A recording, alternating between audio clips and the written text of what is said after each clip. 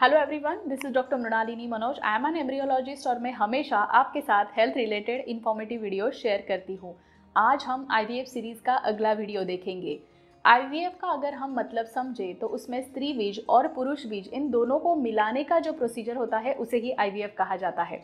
आपने सुना होगा, अगर किसी चीज़ की बहुत अच्छे से तैयारी की जाए तो उसका रिज़ल्ट भी बहुत अच्छा ही होता है। तो आईवीएफ में स्त्री बीज और पुरुष बीज इनको मिलाने से पहले, अगर स्त्री बीज और पुरुष बीज इनकी क्वालिटी अच्छी हो जाए तो उसे कहते हैं, इस आई प्रोसेस के लिए आप अच्छी तैयारी कर रहे हैं। आईवीएफ के पहले हम डॉक्टर्स आपको कुछ इन्वेस्टिगेशंस या फिर कुछ प्रिपरेशंस करने के लिए कहते हैं।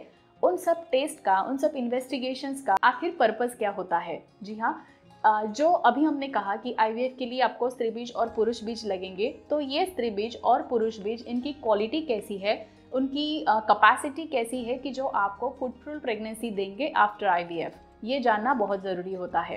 साथ ही साथ अगर महिलाओं के बारे में मैं बात करूँ तो टेस्टिव बेबी यानी कि आईवीएफ बेबी तैयार करने के बाद क्या आपका शरीर पूरी तरीके से प्रेगनेंसी के लिए तैयार है क्या?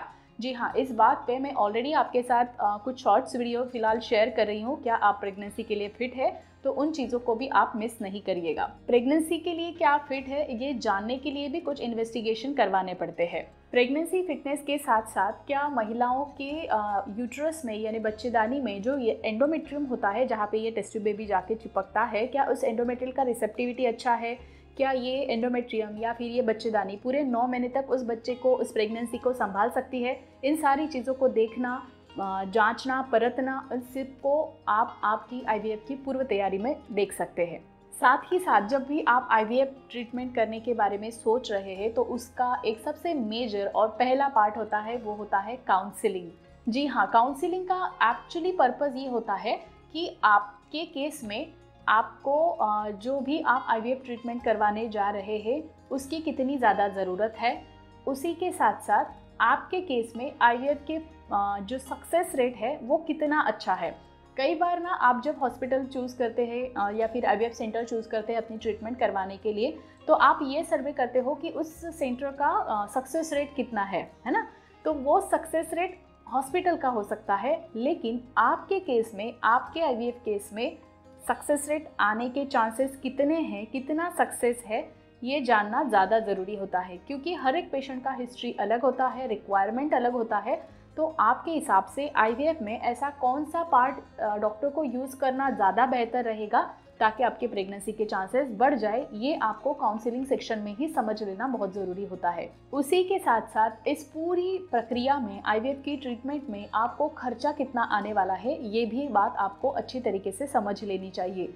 साथ ही साथ आपको इस ट्रीटमेंट के दौरान कितनी बार हॉस्पिटल आना होगा, कितने दिनों के लिए एडमिट होना होगा और सबसे इंपॉर्टेंट इस पूरी प्रोसीजर के दौरान आपको डॉक्टर को कौन कौन सी चीज़ों को इन्फॉर्म करते रहना चाहिए, इन सारी बातों को और मन की तैयारी करने के बाद ही आप, आपकी आईवीएफ ट्रीटमेंट के लिए शुरुआत करिएगा। अब बात करते हैं कुछ इन्वेस्टिगेशंस के बारे में। जी हाँ कुछ टेस्ट कुछ इन्वेस्टिगेशन जिसमें सबसे पहले महिलाओं की अगर मैं बात करूँ तो एक इंटरनल सोनोग्राफी करवाने की सलाह दी जाती है, जिसमें आपकी बच्चेदानी आपके फैलोपियन ट्यूब्स आपकी ओवरी इनको अंदर से जांचा जाता है। क्योंकि कई बार बच्चेदानी में कुछ सेप्टम होते हैं या फिर कुछ फाइब्रॉइड्स होते हैं, कुछ एडेजेंस होते हैं एडिनोमायोसिस होता है। कई बार जब आपकी फालोपियन ट्यूब्स तक डॉक्टर्स पहुँचते हैं तो वहाँ पे पानी भरा हुआ है, ये दिखता है, एक साइड पे या दोनों साइड पे। उसे हाइड्रोसाल्फिंग्स भी कहा जाता है। या फिर फाइब्रॉइड की वजह से कोई पाथ आपका ऑब्स्ट्रक्ट हो, हुआ है, ऐसी नज़र ऐसी बात वहाँ पे समझ में आती है। तो अगर ऐसी कोई दिक्कत है तो आपकी केस में उस चीज़ के लिए पहले ट्रीटमेंट करना ज़रूरी होता है, उसके बाद ही आईवीएफ के लिए आपको प्रोसीड करना चाहिए। इस सोनोग्राफी के साथ साथ आपको ए का भी बहुत इंपॉर्टेंट रोल वहाँ पे समझ में आता है। ए यानी कि एंट्रल फॉलिकुलर काउंट क्योंकि उस वजह से आपकी ओवरी में कितना अच्छा काउंट है और आपको कितने इंजेक्शंस लगेंगे, कितना डोज लगेगा, ये बात भी डॉक्टर को समझ में आ जाती है। इस तरीके से डॉक्टर को पूरी तरीके से बच्चेदानी बच्चेदानी के साथ जुड़ी हुई फैलोपियन ट्यूब्स अंडाशय ओवरी आपका एंडोमेट्रियल रिसेप्टिविटी अच्छा है क्या? आपका एंट्रल फॉलिकुलर काउंट अच्छा है क्या? इसके बारे में एक पूर्वानुमान सब तरीके से आ जाता है। उसके आधार पर डॉक्टर आपकी ट्रीटमेंट का लाइन ऑफ़ ट्रीटमेंट डिस्कस करते हैं। ब्लड टेस्ट की अगर हम बात करें तो सबसे बेसिक ब्लड टेस्ट जो होता है सीबीसी यानी कि कंप्लीट ब्लड काउंट वो भी आपको करवाना होता है। उसमें एच बी एक मोस्ट इंपॉर्टेंट फैक्टर देखा जाता है और या फिर कोई इन्फेक्शन है W B C R B Cs platelet count ये सारी चीज़ों को देखा जाता है। अगर एच बी कम है एनिमिक पेशेंट है तो उसके हिसाब से भी आपको हिमेटेमिक ड्रग्स दिए जाते हैं ताकि आपका एच बी नॉर्मल हो जाए। थायराइड ये एक अलग इन्वेस्टिगेशन इंपॉर्टेंट होता है क्योंकि अगर थायराइड लेवल बढ़ा हुआ है और आपको प्रेगनेंसी रह जाती है तो ड्यूरिंग प्रेगनेंसी बच्चे की ग्रोथ के लिए थायराइड हार्मोन बहुत दिक्कत दे सकता है।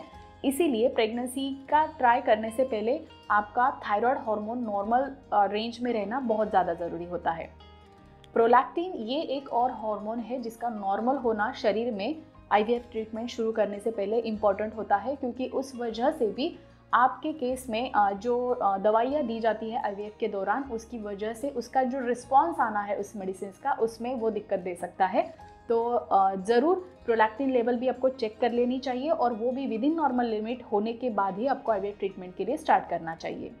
और एक जो रूटीन वायरल मार्कर्स हम जिसे बोलते हैं, जैसे कि H I V hepatitis B hepatitis C इनका भी कर लेना बहुत ज़्यादा ज़रूरी होता है ताकि कोई भी इन्फेक्शन पेल्विक एरिया में है या नहीं, इस बात की भी गारंटी डॉक्टर को हो जाती है। कई जगहों पे पैप्समियर का भी इन्वेस्टिगेशन किया जाता है और सीरम ए ये भी एक बहुत इंपॉर्टेंट रोल प्ले करता है। सीरम ई ए ये एक ब्लड इन्वेस्टिगेशन है, जिसमें आपका ओवेरियन रिज़र्व पता चलता है कि ओवरी में अंडा बनाने की कितनी अच्छी क्षमता है या फिर कितने अच्छे अंडे ओवरी बना सकती है। इस बात का पता एम के इन्वेस्टिगेशन से भी चलता है। ये सारा एक जो प्रोटोकॉल है वो महिलाओं के लिए है। अगर पुरुषों की मैं बात करूँ तो उनके लिए भी ब्लड टेस्ट में सबसे इम्पोर्टेंट सीबीसी होता है जहाँ की कंप्लीट ब्लड काउंट जिसमें H R B Cs W B platelet count basic चीज़ें देखी जाती है। साथ ही साथ viral markers hepatitis hepatitis B hepatitis C और एचआईवी इसका आ, कोई इन्फेक्शन तो नहीं है ये चीज़ देखी जाती है। पुरुषों के इसमें सबसे इम्पोर्टेंट जो टेस्ट होता है वो होता है सीमन एनालिसिस जी हाँ वीर्य की जाँच। वो वीर्य की जाँच डब्ल्यू एच ओ दो हज़ार दस के अनुसार उसके पूरे जो पैरामीटर्स है वो नॉर्मल है या नहीं, इन बातों को देखा जाना चाहिए। और अगर कुछ गड़बड़ी है सीमेन रिपोर्ट्स में तो आप आपके सीमन क्वालिटी को ऑप्टिमाइज़ करने के लिए तीन महीने से लेकर छः महीने तक दवाइयाँ ले सकते हैं, जिसमें बहुत सारे एंटीऑक्सीडेंट्स होते हैं, जिसके बारे में मैं कई सारे शॉर्ट्स में फ़िलहाल बता रही हूँ तो मिस नहीं करिएगा। उन टिप्स को यूटिलाइज़ करिएगा, ताकि आपका सीमेन क्वालिटी भी इम्प्रूव हो जाए। कई बार पेशेंट से बात करने के बाद अगर डॉक्टर को लगता है कि ये इन्वेस्टिगेशन पुरुषों में भी ज़रूरी है तो जैसे serum FSH serum LH serum testosterone ये ब्लड इन्वेस्टिगेशन भी पुरुषों को सजेस्ट की जा सकती है। कई सेंटर्स में एक मॉक ईटी ये भी एक प्रोसीजर होता है, यानी कि बच्चा तैयार करने के बाद जो अपने को वापस बच्चेदानी में छोड़ना है, उसकी एक प्रैक्टिस काइंड ऑफ़ थिंग या फिर एक जो रास्ता है बच्चे को बच्चेदानी में छोड़ने का, वो रास्ता सही है या नहीं है क्या वहाँ पे कोई ब्लॉक है, क्या वहाँ पे कोई प्रॉब्लम है, ये चीज़ देखने के लिए भी मॉकेटी प्रोसीजर करवाया जाता है। लेकिन अगर आपके केस में हिस्ट्रोस्कोपी एक आईयूआई या फिर एक आईवीएफ अगर आप ऑलरेडी कर चुके हो तो ऐसे केसेस में मॉकेटी की कोई ज़रूरत नहीं होती है तो सेंटर्स में वो परफॉर्म नहीं की जाती है। तो इस तरीके से आईवीएफ को प्लान करने के पहले या फिर आईवीएफ ट्रीटमेंट शुरू करने से पहले ये सारी चीज़ों की एक पूर्व तैयारी जिसे बोलते हैं या फिर हम पहले से प्रिपेयर्ड रहे आने वाले आईवीएफ के ट्रीटमेंट के लिए तो ये सारी चीज़ें उसमें इंक्लूड होती हैं। आज हमने देखा कि आईवीएफ के पहले आपको कौन कौन सी तैयारी करना ज़रूरी होता है। आने वाले कुछ वीडियोस में हम देखेंगे स्टेप बाय स्टेप आईवीएफ किस तरीके से आगे बढ़ता है और आपको कौन कौन सी चीज़ों को ध्यान में रखना चाहिए। क्या प्रिकॉशंस लेनी चाहिए? सबके बारे में डिटेल इन्फॉर्मेशन आपके लिए वीडियोस आने वाले हैं तो चैनल को सब्सक्राइब करके रखिएगा बेल आइकन पे क्लिक करिएगा और ऑल नोटिफिकेशंस पे भी क्लिक करिएगा, ताकि अगला वीडियो आप मिस नहीं करेंगे। इस वीडियो को आपने लाइक तो कर ही दिया होगा। कुछ सवाल है तो कमेंट सेक्शन में ज़रूर पूछिएगा। मिलते हैं अगले वीडियो में एक नए इन्फॉर्मेशन के साथ। तब तक के लिए अपना ख्याल रखिए, स्वस्थ रहिए और हमेशा हमारे साथ जुड़े रहिए बिकॉज़ हेल्थ इज़ हियर नमस्कार।